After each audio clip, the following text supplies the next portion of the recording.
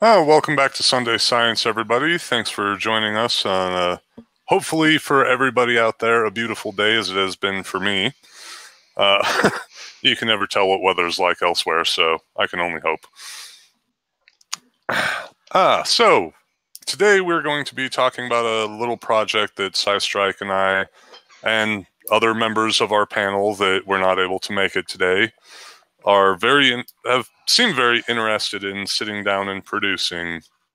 So, SciStrike originally actually found this project in what sounds like an old ham radio operator uh, magazine, if I'm correct. Indeed. All right. and it is effectively a do it yourself, build at home amateur radio telescope. So, in the past, obviously, we've discussed a large amount about observatories and how all of that fun stuff works. So I don't think we need to backtrack on that too much. And I don't have a whole lot of imagery to share in that realm. So, might just be a little bit more talk and a little less picture.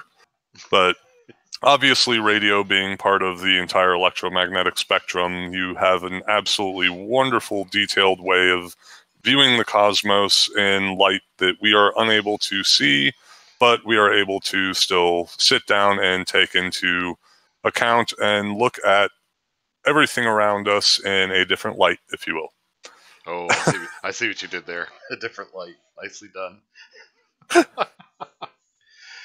anyway, well, I, I you know, we talked about the Chandra X-ray Observatory, and we've we've talked about a lot of visible and infrared, near infrared, a whole lot of things, but we never really got into a whole lot of the radio end. So I think this is going to be a really fun project to actually sit down and take a look at building one of these. I've considered it in the past, and my my knowledge of radio communications is limited by comparison to SciStrikes. So I was pretty excited when he put this one on the table and suggested it. It's I think it's going to be a lot of fun to build, and it it kind of looks like you've actually already gotten in gotten into building uh, some of some components that would get you that one extra step closer with the uh, antenna array that you showed me earlier.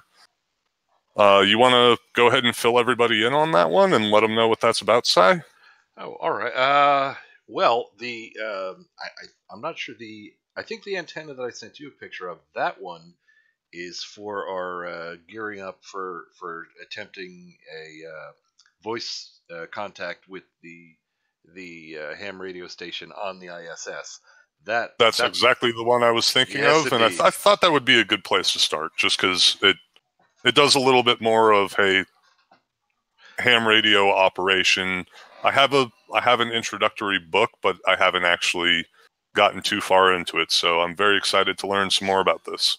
Okay, well, um, there's uh, there's always been a ham station on the ISS, and whenever the uh, whenever the uh, the crew stationed is is not otherwise occupied, which is not all that often, if you happen to if you happen to uh, call on uh, on frequency when you're in their radio footprint, uh, invariably you will get a response and you get to log a contact with uh, space, which is kind of cool. And um, that antenna was needed because look at look at Bo in the public chat. Is it a 100 element quad beam? No, no, it's not. It's it's it's just a uh, it's a dual band. Um, uh, it's called an egg beater antenna. Uh, for the reason is the, the reason is because each element looks each set of elements looks like an egg beater. Um, and in this particular antenna, it's made for ham satellite use.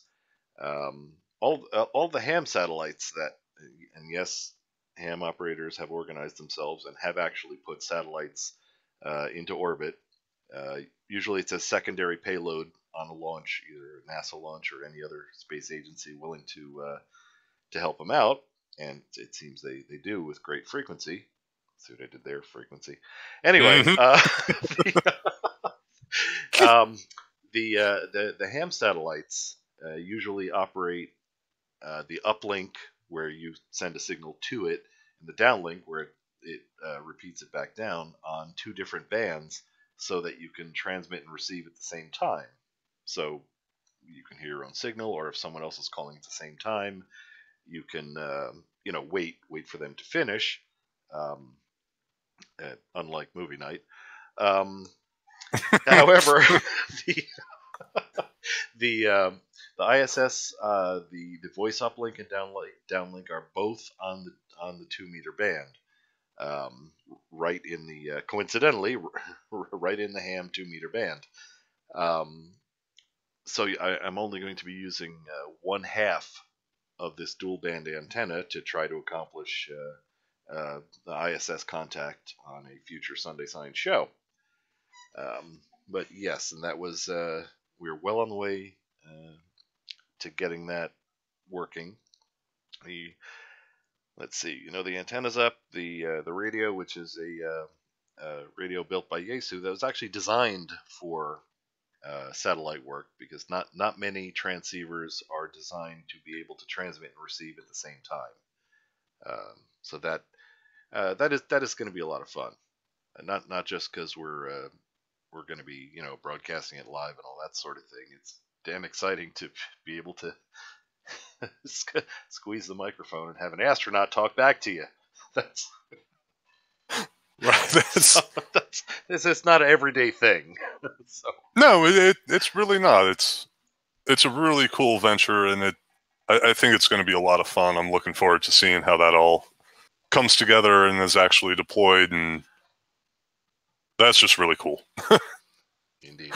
Oh yeah, Bo Bo is correct. You can uh, the uh, a lot of the hamsats that that that have been put up uh, just with a handheld radio you can get. And actually, the ISS has a has a damn good uh, uh, two meter antenna on it.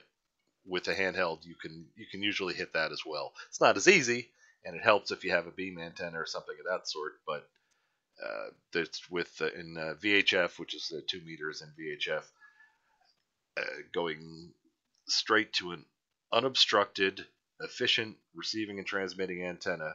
They, they do make it easy for you. So anyway, we'll be trying that coming up on a future show. Uh, we just have to uh, time it so that the you know the pass when when it when it goes overhead, we're in the we're in its uh, radio footprint at the, at this time at the time when we're doing this show. And that that's not that hard to calculate. So right, and I mean if if we need to adjust the show time by a little bit here or there in order to make it happen, I think it's worth it. But but Andy, we've never moved the show off of five o'clock on a Sunday, have we? no, no, that's never happened. same on. time, same place, every night for months. I mean, yeah, I mean, well, Tuesday sort of sounds like Sunday. All right, yeah, we'll get a pass for that. It ends in Y. It, there it's you go. A. All right. Anyway, so that's coming up, and uh, we'll uh, and we'll, we'll, we'll certainly give that a shot. There's no guarantee we'll be successful. Um, as we want. every everybody with the ability to do so does try to do it. So there may be uh, there may be other stations. We may not have uh, as much luck as we'd like, but we're going to give it a shot, which will be kind of cool. Sometimes that's all you can do is just give it a shot. Indeed. And and if not, we'll just hit a couple of the ham sats. right. no problems there. Indeed. But uh, yeah, that uh, I I think that that should be a lot of fun. And maybe oh, folks oh, absolutely. Who, maybe folks who've never heard of uh, uh, you know the whole amateur radio thing will actually you know get interested in it. A lot, a lot of people that have heard of it will say something like, "Yeah, that's uh, oh yeah, yeah, ham radio. My, my grandfather or my father used to do that. Like it's like it's a thing of the past. Not not aware that there's ongoing development, like spacecraft oh, that hams are doing. not only ongoing development, there's I mean, there's entire organizations that do, you know, the uh, hunts across the United States where you're you have to be a ham operator so that you can even sit down and go on the little hunt and quite true my uh my former uh, pilot instructor that I never actually finished my pilot's license. That was stupid. I should have. But I never actually finished it. But the PIC that I was working with and doing ground school with, he was a big time ham operator and always had to schedule what time he was actually going to be in town because he was going all over the place on these, you know, scavenger hunts for ham radio operators. And it's actually how I wound up getting my first operator book was working with him. But unfortunately, due to age and other ailments, he was grounded. And instead of taking his suggestion and going with one of his other students to finish out my license, I just kind of gave up. Hmm. Fortunately, there's still time left uh, for you if you ever, if it ever catches your interest again, because I know you're just overflowing with free time. Oh yeah, I just sit around not knowing what to do all day, every day. of course. Anyway, um, uh. I have a couple of sh- a couple of shorts, just to, a couple of short short videos, just uh, on radio astronomy and, and, and how it works and that sort of thing, just just to. Oh, very awesome. So I why don't I throw one of those up here? here yeah, let's take a look. Here's uh, radio astronomy in five minutes. Here we go. Let's see what we got. When you tell people that you're a radio astronomer, they often have no idea what you mean. They know what a radio is, um, but maybe they get astronomy confused with astrology, and they come to the conclusion that you deliver horoscopes over the radio. This is not, in fact, what radio astronomers do. Radio astronomers use telescopes like this, or arrays of radio telescopes like this. They point it at the sky, and they collect light which is in a very specific part of the electromagnetic spectrum. This part, this part right at the end here with the long wavelengths. For reference, you see that little narrow strip of visible light? That's what your eye is capable of seeing. But to look elsewhere, so to look in the radio, for example, you need to use telescopes. So we take our radio telescopes, we point them to the night sky, and we see this. This is what the sky looks like in the radio. Now you might look at this and think, oh, oh yeah, I see. This is basically what the sky looks like normally, right? All the little dots are stars. And I'll stop you and I'll say, no, you're wrong. Every single one of those dots is a radio galaxy. None of those are stars. Those blotches to the left are supernova remnants. And those big whiter blotches up here are clouds of ionized gas. So I've already made one of my points that looking in the radio opens a window to an otherwise invisible universe. Another example this is an optical image of the M81 group, a group of galaxies in the Big Dipper. This is the same image in the radio. You get more information. The radio image tells you more than just where the stars are. It tells you where the neutral atomic hydrogen gas is, which is correlated to where the stars are, but which shows you that the galaxies are actually interacting with each other, which is a fact that you totally miss in the optical. Another example, this is an optical image of Centaurus A, a sort of ordinary looking elliptical galaxy. When you look in the radio, you see that there is this feature that's totally invisible in the optical. This galaxy has huge radio lobes that are being emitted from the supermassive black hole at its center. That's awesome. Each of those little dots that I showed you in that uh, picture of the radio sky is one of these radio galaxies. This is another radio image. Uh, you might have seen it before. It's the microwave cosmic background radiation, which is radiation that was emitted right after the Big Bang in its aftermath when things were beginning to cool down. Um, it's in the radio because as the universe expanded, so did that radiation. So the radiation went to longer and longer wavelengths, and longer wavelengths is in the radio end of the spectrum. Being able to see this has totally revolutionized cosmology. Um, it's enabled cosmologists to learn more about the early universe, learn about how the universe has evolved, learn about dark matter, and it's in the radio. So radio is the best. Another reason to observe in the radio Earth's atmosphere actually absorbs most of the radiation coming from space um, most of the electromagnetic spectrum. So you see here, those lines that are so up at the top, that means full absorption. That light doesn't get to us at all. There are only two windows. One is in the visible, that very narrow window there, and one is in the radio, that huge window over here. Bigger window means bigger range of wavelengths, means bigger range of sources. Third, there's a technique um, that's unique to radio astronomy called interferometry, which allows us to get very high resolution of what we're looking at. Basically, you take a bunch of different te uh, te telescopes, um, 27 telescopes in this case, you put them in one array, you point them all at the same object, so, so you're looking at that object from a bunch of different angles, and you combine that information, all those different perspectives, to make one high resolution image.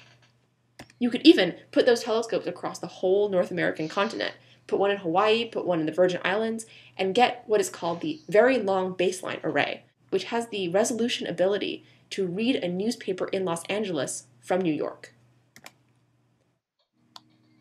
So, a quick recap of why radio astronomy is awesome. It gives you access to this otherwise invisible universe. It enables you to perform ground based observing, which is a lot cheaper and more convenient for astronomers. And it allows you to get ridiculously high resolution on things like the structure of galaxies using the technique called interferometry. Basically, radio astronomy is a lot more than this. Okay, well, there we go. Very nice. Now, I will, uh, yeah, it's a little bit of a spoiler, but uh, might as well. The um, uh, the radio telescope we're going to be, amateur radio telescope that we're going to be working on uh, building, that any of you that want to build along with us, by all means. Um, Absolutely. The more the Yeah. merrier, especially especially in radio astronomy. absolutely. And then we could all link them together and do interference. I have trouble with that word. All right. Uh, Interferometry. in- interferometry. There we go. I think I got it.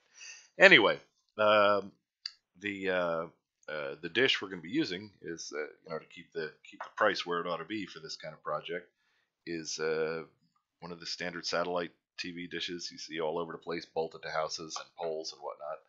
And um, I believe tho- those are those are X band, which is you know eight eight to twelve gigahertz, something like that, which puts them in uh, the bands are specified in wavelength, how long each each each wave is, and this uh, the X band is like three, uh, just under under uh, four centimeters down to two and a half centimeters. Now, if we go back in this video, hopefully I can find it. Oh, look at that! First try. Perfect.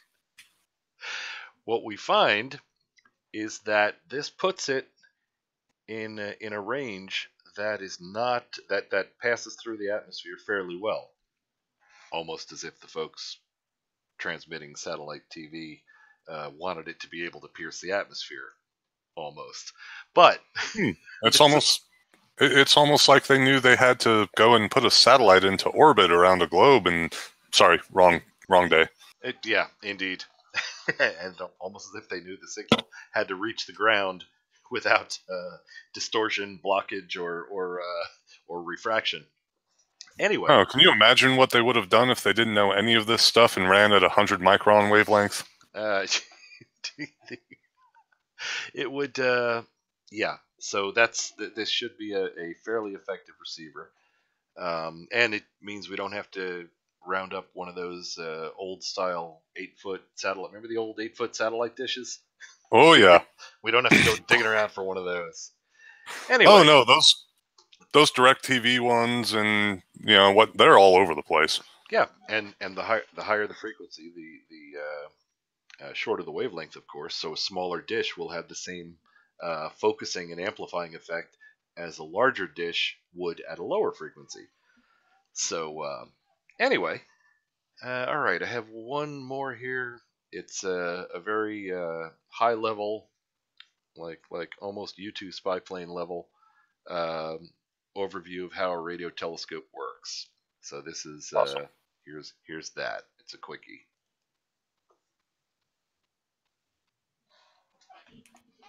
Our radio telescopes that we use for SETI, the observing systems that we, that we use at radio telescopes, are not dissimilar from this radio. Now, if I turned on this radio, all you would hear is, is static at most places on the radio dial. But at certain places on the radio dial, there's, there's music or there's talk radio, there's a, there's a signal there. And a, a signal from an extraterrestrial technology would look very much the same. It would have extra energy or some kind of a signal at only one channel, at only one channel on the radio dial. Luckily, we don't have to tune a dial uh, with, our, with our instruments. Our instruments can actually monitor billions of different radio frequencies all at the same time, instantaneously. So if we see any, any radio station, if we see a, a signal that pops up against the static, then we know that there's, there's something interesting there. Something sort of contemporary. There you go. That that's a that that's a quickie. so Definitely was a quickie, but still a good one, and it it kind of brings to mind some of the things that you know. There's there's a, there's a lot of things with uh, cloud-based usage of computers that I'm not too fond of, and then there's other things like potentially doing collaborations with a multitude of people that mm, you could actually have significant computing power at your fingertips with an amateur array of this type. quite true, quite true. And uh, alrighty.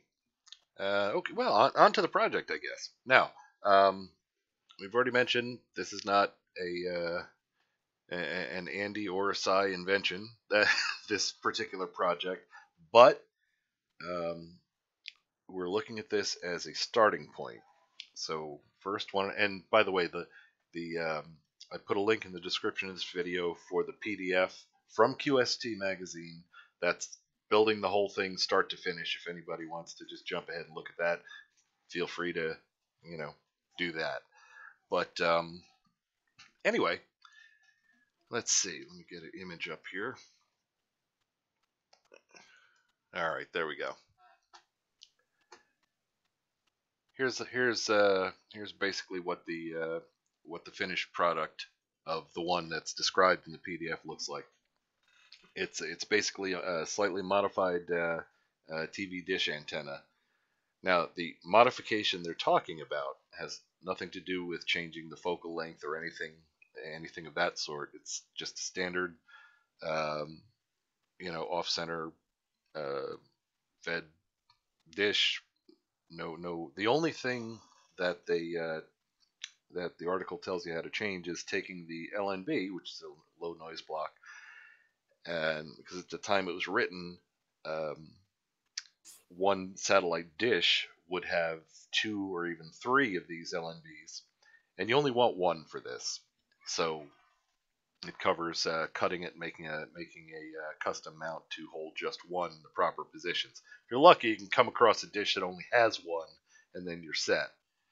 Um, and yeah, yes, Bo, it's upside down. That's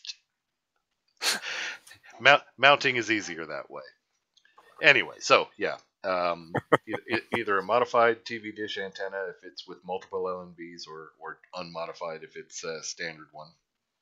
Um, what's there's kind of a cheat here. We, there's a uh, uh, I don't know if any of you've seen the uh, signal strength meters you use. If you're if you were to point your own dish at the satellite, you use this to see when you get the strongest signal.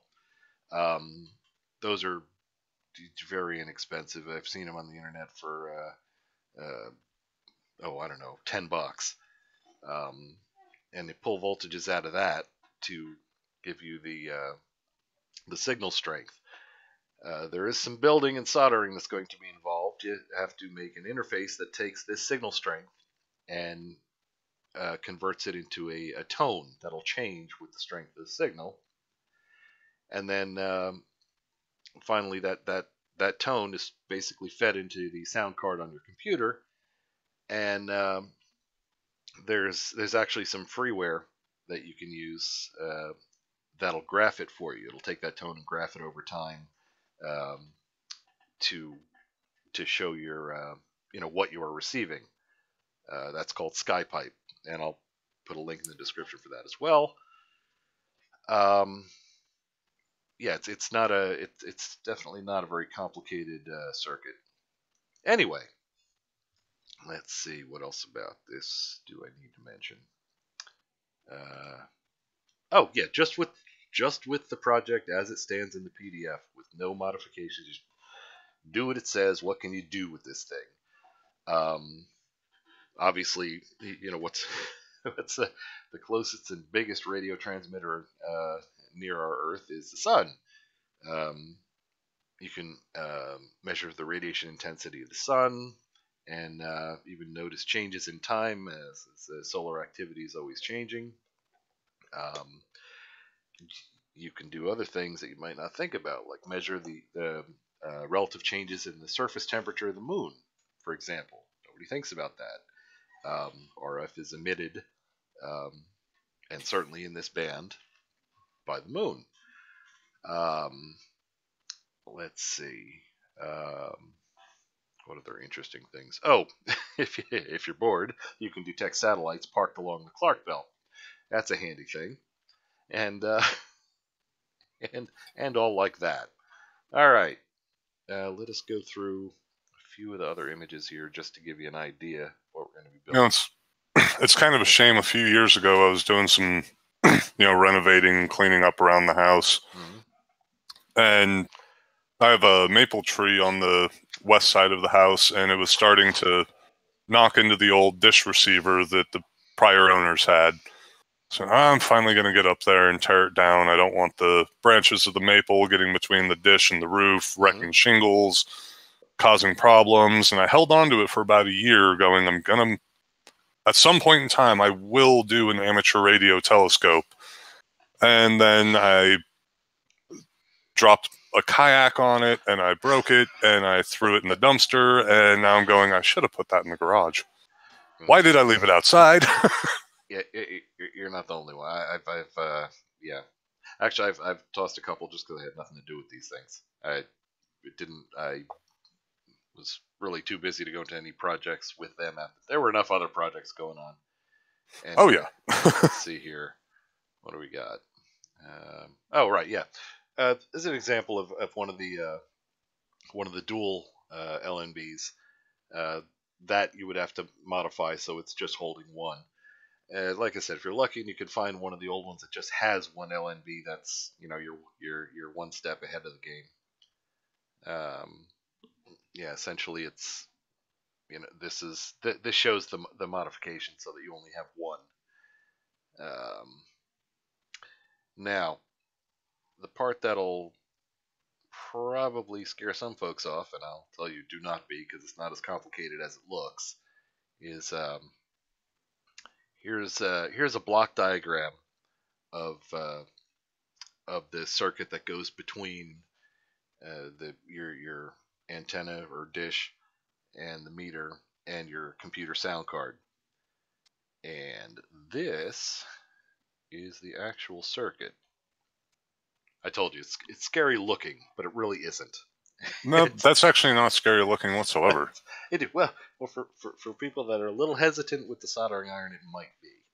Uh, well, okay, I could understand where it might be a little bit intimidating, but this actually looks surprisingly similar to one of the oh, one of the PID control heating mechanisms that was I had to build for my dye sublimation press. hmm Actually, not really not a whole lot different, but Indeed, and and um, like I said, it, this is going to be an, an ongoing project to go through this, and uh, you know we'll do it together if anyone needs any assistance. And there was Andy and I were even talking about uh, it might not be a bad idea to look up um, uh, places that'll that'll etch uh, printed circuit boards for us that we could you know have uh, have ten or twenty of them made, and if you know if someone wants to build this doesn't feel like doing point to point wiring we'll give them that. And that'll Right. that'll make it a little easier for them but uh, anyway it's not a complicated circuit. And as like we mentioned we're yeah, we're always here. You can get to us on discord uh, happy to uh, offer any assistance we can. Absolutely. anyway using the, the the free software that i mentioned and is in the pdf if you download it you end up with uh, graphs that look sort of like this. And this will be um, it, it's really enough. It's enough that you can demonstrate that you know what you're uh, what you're expecting to happen is happening. Like if you have stationary, you have the antenna pointed uh, in, in in one direction. As the sun goes by, you'll notice the increase and decrease in the received signal and all that sort of thing. Um, so just as itself, this project is actually pretty useful, um, and you know definitely something interesting to show off. Hey, look, I have a radio telescope in my backyard.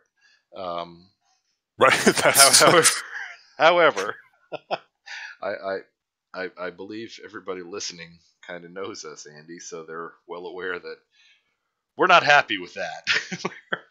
oh no, there needs to be more, especially if right. one of the excuse me, one of the projects I've been working on since I built the you know six inch refract the six inch refractor. I finally actually need an actual observatory built into the house, so I'm working on working on building an actual observatory onto the south side of the house. It's just the best skies for my location is southern viewing, and this radio telescope is going to be a part of that, so that hopefully I can combine some some optical and radio once I get a little bit more work done on uh, figuring out how to combine that imagery. But I know what you're about to say, and I hopefully didn't drop any spoilers. Not yet, not yet. You didn't. You were you were very careful and did not. Anyway, uh, Andy and I were talking before, and we are looking at this. So this gives you a very uh, a nice linear view of what happens over a period of time, and um, and and looking at that, it occurred to us that well, you know, television works sort of like that. It changes the intensity of the illumination of each, we'll call it a pixel, even though in old analog televisions it wasn't a pixel, it was just a spot on the screen. Uh, it changes the intensity based on the voltage level. Wouldn't it be interesting if, well, then I thought back to another thing that a lot of ham guys do for fun, um, which is, well, two things really. One is called slow scan TV, in which you send you can send pictures to somebody else uh, across the world uh, on the other side of the planet. And um, since it's it, this is done in, in the HF bands, it's not a lot of bandwidth. It's below 30 megahertz. You can't really, you know, like on the internet where you can send a picture in an eighth of a second. You had to send it line by line, much like televisions do. And there's freeware that does that for sending and receiving of slow scan TV. Also, there's another thing called WeFax, which is weather fax that's transmitted by NOAA, and you can receive those with a very simple circuit plugged into your computer sound card. So it occurred to us, well, what if we take this linear uh, reading and with an appropriate mount, like you'd use on a telescope, again, it would have to be computer driven. If we were to scan the sky in, oh, I don't know, the same number of lines you would expect to get receiving an image in, in, in any of this, uh, and either the slow scan TV or uh, WeFax software, we could make instead of just a line showing things that you know happened over time, we could generate an image that we could then compare with an optical image of the sky and overlay them and have a pretty good indication of a patch of sky, what objects are emitting what levels of uh, RF energy that we'd be detecting. Now, oh yeah, this is where stuff starts getting real fun. yeah, this is. I'm telling you, just building the first thing is pretty damn cool. But oh yeah, you but you you guys know Andy, Andy and I are not happy with with that. So we were talking we were talking about this, and that is uncharted territory once we've constructed this and it works, we have a good time, you know, with it as is, uh, then phase two will be enhancing it so that, uh, you know, when, when you watch a, a, PBS special on radio telescopes, they don't just show you a, a spreadsheet with times and times and signal strengths and then show you a graph like this. They show you a picture. And we, we saw one in that first video.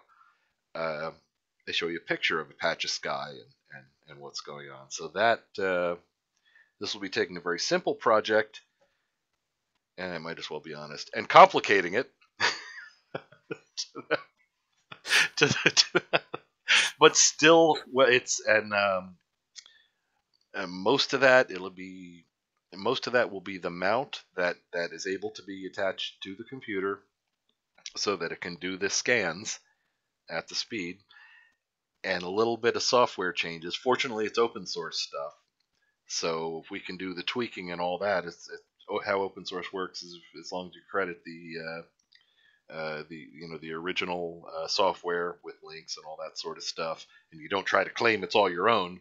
Uh, you're good with it. Um, you know, as we progress, we do get this this to work. That means everybody has it, and um, Absolutely. And then amateur radio astronomy comes into regular households with- all across the globe. And now we start getting the interferometry work that really gets into some high resolution, detailed imaging.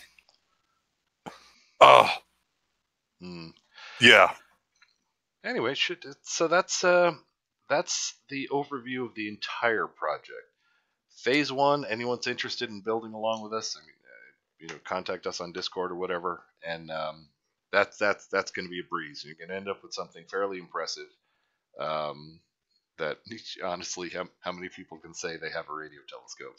so You know, un- unless you work for SETI or you happen to be in Panama or, yeah, not many. indeed, indeed. So that's uh, and especially in amateur you know a lot a lot of people can sit down and say that they've made an amateur telescope i'm one of them and there's thousands of us all over the place Hmm. amateur radio telescope Hmm, not as yeah. You're right. That does make you kind of you will be kind of unique if you uh, complete the project and and uh, and show some results. That that'll be a unique thing. So- absolutely and if if you're proud of your nerddom this will be some of the highest nerddom bragging rights you ever get A- absolutely. Other, uh, other nerds will be buying you beers left and right when they And just this. imagine how easy it would be to wind up being part of NASA's civilian scientist population if you have your own radio telescope. Indeed. And uh, oh, geez, think about that. Think about some uh, unusual solar activity. If you ha- just happen to be the first one to notice it, that would be uh, that would be intriguing. Oh, absolutely. And maybe you're in a position where you're able to witness a dip in intensity due to a transit of Venus, but you don't actually get any observable time for the transit of Venus. That, I wonder. I, I, I wonder if we have the the. Re- I wonder if when we finish this, if we're going to have the resolution, you know, to to to be able to detect that. That would be. That, I mean, that is a that is a decent amount of. It, it would it would be difficult. I'll say that much, but Indeed. I think it's absolutely possible.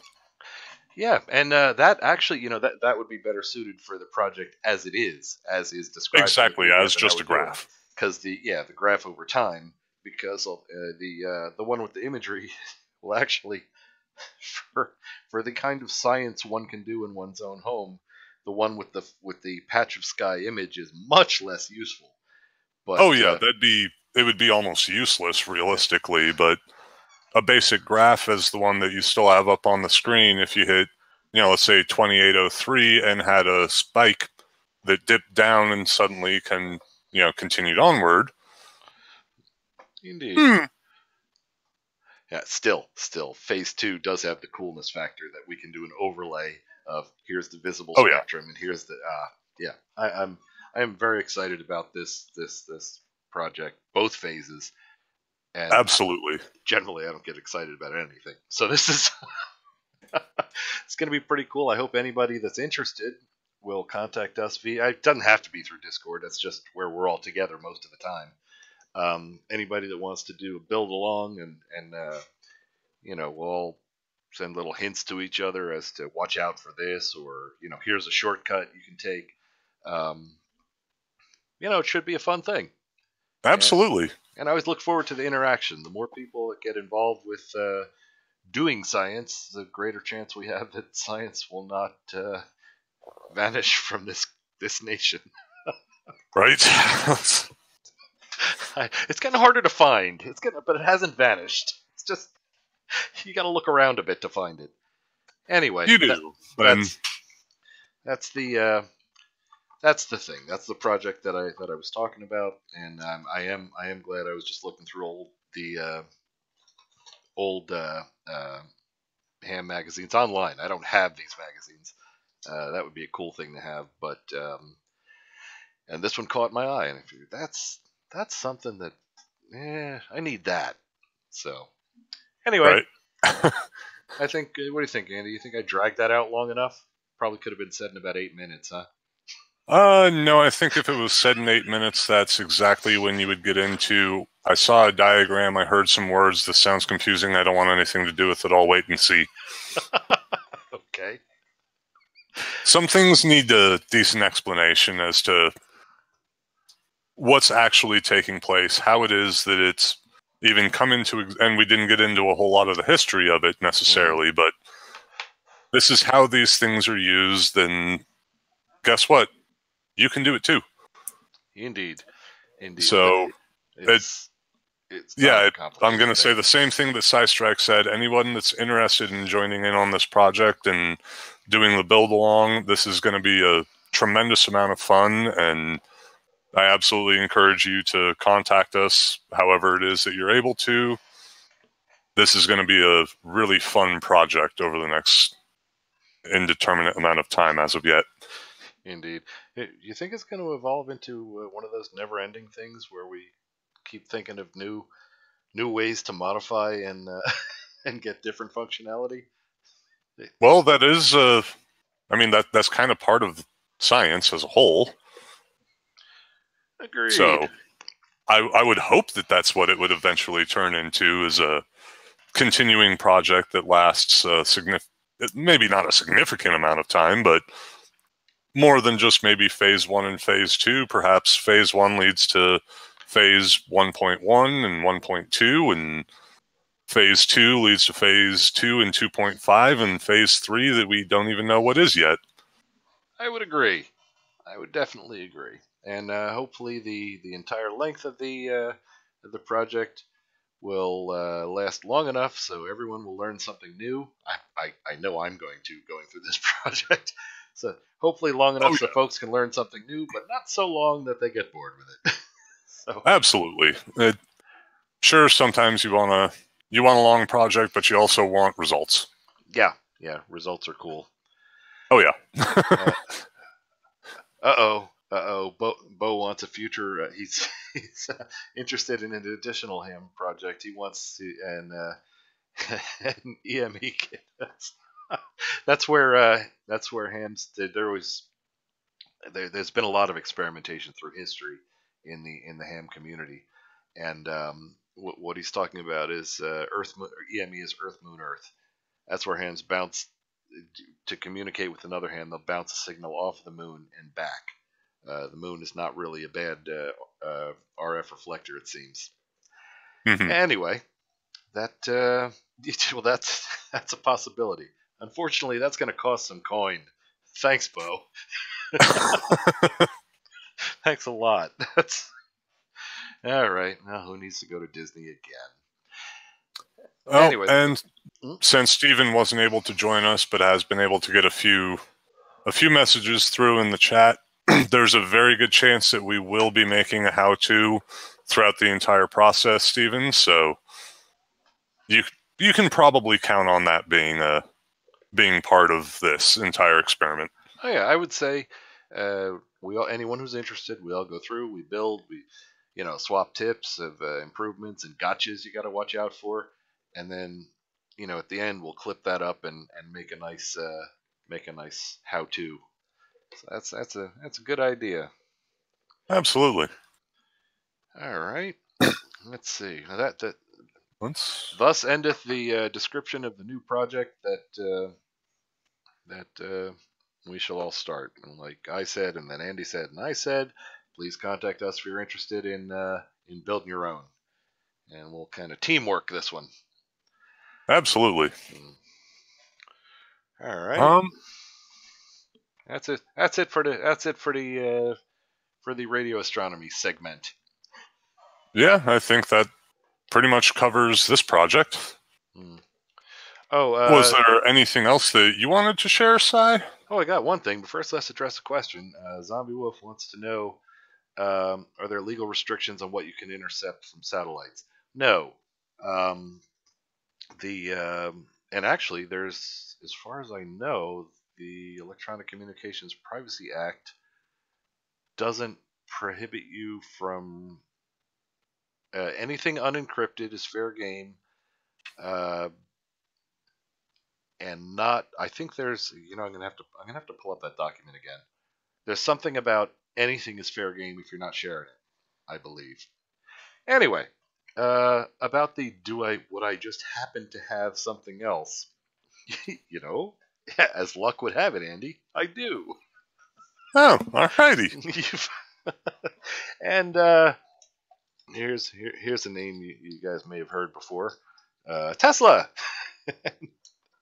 anyway, what I wanted to uh, what I wanted to bring up today is I'm, I'm sure you've uh, all seen the wacky claims that uh, um, Nikola Tesla uh, was inventing free energy devices. This is because of a uh, mixing together of two quotes that should never have been anywhere near each other. Although each truthful independently, put together they were not. Um, he did. There, there was no. There's there was no free energy or over unity gain. Nothing. That everybody knows that that's just silly. He wanted Indeed. to. He wanted to distribute power for free, so that it didn't all have to be you know pushed out over copper. Um, and you know at the time it seemed like a good idea uh, to him anyway. Um, to to the people that had you know the the the, the um, capitalists who had uh, uh, copper mines were not really pleased with that idea. But uh, oh yeah, and that, that by the way, the term capitalist is not is not. Don't take that as an insulting term. That's what they were. They were capitalists. They owned and controlled the capital, the means of production. Anyway, they were they were not incredibly excited about the idea of uh, sending power via other means for free. Um, but to, to Nikola, Nikola Tesla, it seemed like a great idea. Um, so it, it there there was never any intent to uh, to to create a free energy device. That's that's basically silly. Anyway, as it turns out, it wouldn't be such a hot idea anyway because uh, basically anywhere you were distributing that much power, you were doing it through. Once again, we're talking about radio frequency. That's how'd you like to live in an RF field that strong? However, his methods his, his, methods did work, and um, what uh, we commonly refer to as a Tesla coil today, and is mainly used for making impressive-looking sparks that that you know can be anywhere from a, a couple of mil- millimeters to 10 feet long. Uh, that was not the original intent. That's that's the flash that, that catches people's attention. Um, it was meant to transfer energy from one point to another. And uh, yeah, it's, it's looked at now, looking back, it's a very simple concept, and it's very easy to reproduce. And um, just to demonstrate that it's very easy to reproduce, I did so. Um, you don't say. You found something scientifically based, and you were able to build it, test it, and reproduce results. Something like yeah, yeah, yeah, something of that, almost exactly that. Yes. Uh, wow. So, that sounds awesome. Yeah, and I, I Can I get involved in this sure. sciency thing? Sure. Anyway, so I, of course I. Sorry, I, uh, I had to.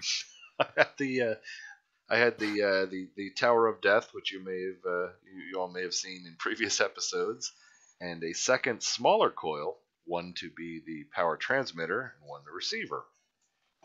And then just because I threw this together quick for uh, this was actually done earlier today, um, just for just for this show, so be able to demonstrate it. Um, it's uh, just a volt a voltmeter attached to the receiving one. So let's, let's take a quick look and see how that looks. There we go. Yes, one of the porches. Where is it? Here's the video.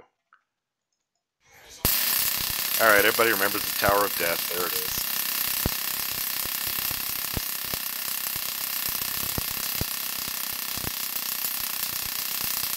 anyway, so I, I moved this little this little fella outside and brought its little brother with it. Jeez, How much of this did I include? Here we go. There's a Tower of Death next to his little brother attached to a volt. All right. They are. Let's see. We should. Uh, I believe I have a shot of the voltmeter at. Up oh, there it is at zero. Oh look, we are registering voltage. Now, the actual received voltage is AC, and it's around 60 volts at that distance. The $6 Walmart voltmeter, however, is very upset with being in an RF field like that, and is and is not very happy with the extremely high frequency AC it's being fed. I had uh, originally attached. I have a oscilloscope that attaches to the computer, and the, the computer is the display for it. it. Works pretty well, and the device, the the uh, USB oscilloscope, is very well shielded. Unfortunately, the laptop is not, so that didn't go so well. And I'll be laptop shopping sometime this evening. Uh, so, in, in order to show you guys some results, the only thing I could do is grab the voltmeter and throw it on there and demonstrate that wireless power transfer does work.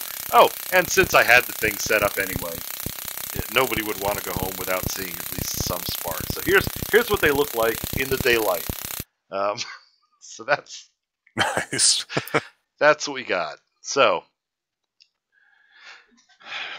oh, awesome. and, and Stephen likes the Tower of Death. yes, yeah, the the voltmeter is not. It was definitely not enjoying that. But yeah, uh, it, it sure didn't appear to be. And and and Bo, you're right. And there's a, there's a there's a very serious ham operator, uh, four houses down, who's got. Uh, oh, Bo, you would you would be impressed with his beam antenna. It's uh, like a five element Yagi, and the um, each of the elements is a hollow tube, and there's a thing like a tape measure inside of each that changes length, so it tunes itself. The antenna tunes itself to resonance. How's that for fun? Anyway, um, yeah, maybe, maybe if I want to put off Disney for eight or ten years, I'll buy one of those. Anyway, oh, oh, look, nice. oh, Andy, this is I think this is a question for both of us. Steven says Sarah wants to know if there have been any new fires. Any over by you, Andy? I have not had a chance to start any fires lately. I well, I'm hopefully finally done getting the garden in this year, so I will be back to work on uh, back to work on my coil and building the new MMC that hopefully won't explode and start the lawn on fire. But if it does, I'll make sure to videotape that fire as it happens Of course, because one thing, one thing we've learned through doing these Sunday science shows is everybody likes fire and everybody likes zap zap. so indeed. All right. Um, that's uh, yeah, that's that's all I have for you, Chief. That's uh, well, that's about that's about all I have with hopefully work will slow up sometime soon. I've had the new engineer in with me for a couple of weeks now, so things are starting to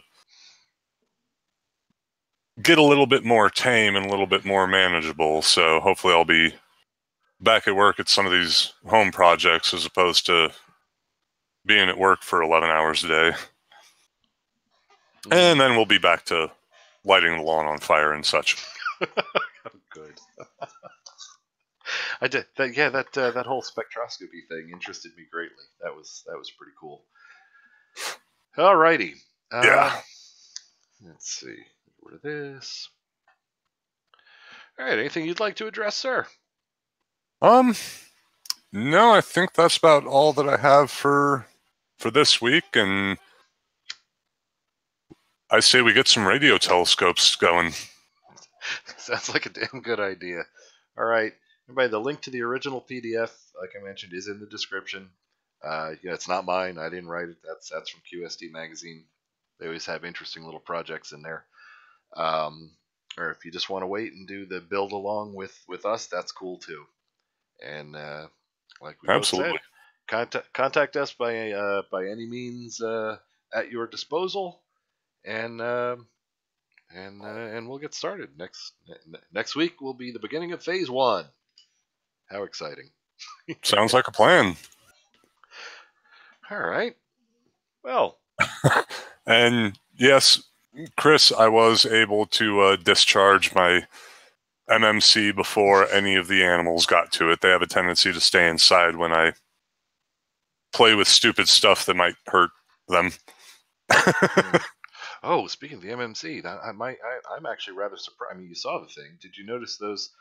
I don't know if in the image you you could see it clearly enough, Andy. Those uh, capacitors that we bought, the high voltage capacitors that were rated for yeah? I noticed those Yeah. on the left hand side underneath by your spark gap. Yeah, there's none in series. There, um, there's five of them in parallel to up the, uh, uh, you know, give, give it a few more picofarads there. But uh, so the theoretically the maximum rating across that, we'll call it an array, but it's not really, is uh, 10,000 volts. The feed voltage for that is 22,000. So I'm actually rather surprised none of them have exploded. I am as well. I. Hmm. You know, I- Well, well, I- maybe tell I had one of those Monday morning or Friday afternoon capacitors in mind. It happens. Could be. Well, you know, the, the other thing I did to, to control the voltage that actually is allowed to build up on them, I did decrease the spark gap to uh, uh, much less than when we first started. Exp- we, we were originally thinking, oh, larger spark gap, that means it'll build up more voltage. Yes, Mhm. builds up too much voltage, exploding capacitor. Maybe the yeah, smaller that spark could also gap. be a possibility. Indeed.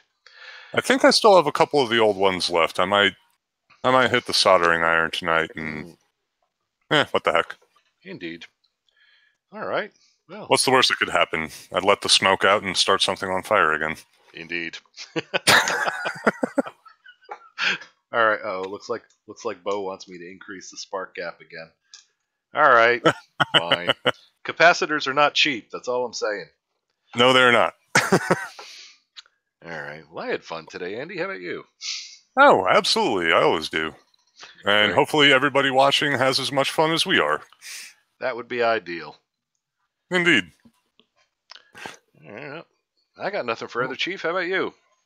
Uh, no, I think that wraps it up for today. Okay. Thanks for joining us, everybody. Glad Yeah. to see you again. Have a great week, everybody. See you all next time. And here we go.